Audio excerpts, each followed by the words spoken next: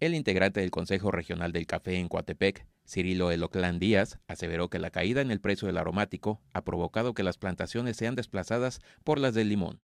Ese es uno de los principales este, problemas, la volatilidad de precios, entonces se genera una fuerte incertidumbre, no sabemos a cómo vamos a vender y eso pues este, está generando muy fuertes complicaciones en, el campo. Eh, y por ende, en consecuencia, están orillando a los cafetaleros a cambiar de cultivo. Por ejemplo, ahorita el, boom de la producción es este, los limones, ¿no?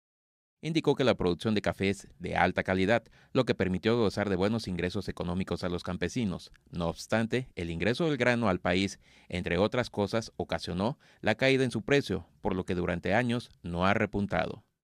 Eh, algo que nosotros hemos estado insistiendo es, bueno, cómo controlar las importaciones este, y bueno, de alguna manera sentarnos con esas eh, grandes empresas comercializadoras, sentarnos y bueno, pues decir, pues sí, no, no, no nos oponemos a que no traigas café de otros países, pero primero, primero cómpranos a nosotros el café y ya posteriormente los, los, los, este, los faltantes que tengas, pues adelante, no hay ningún problema. Veracruz tiene alrededor de 70.000 productores de café y solo se siembran 100.000 hectáreas y poco a poco los productores han ido desertando de la siembra del café para dedicarse a los cítricos y a la caña, pues es más redituable. Carlos Andrade, RTV Más Noticias.